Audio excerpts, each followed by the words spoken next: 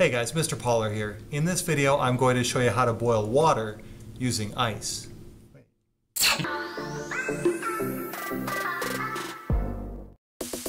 Alright, let's go ahead and get this experiment started.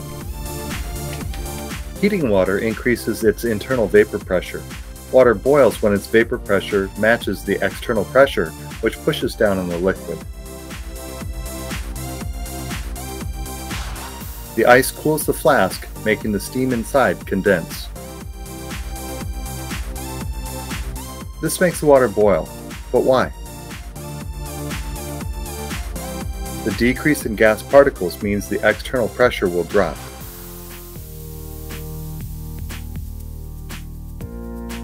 The water will boil when its internal vapor pressure matches the external pressure of the steam. That is how you boil water with ice.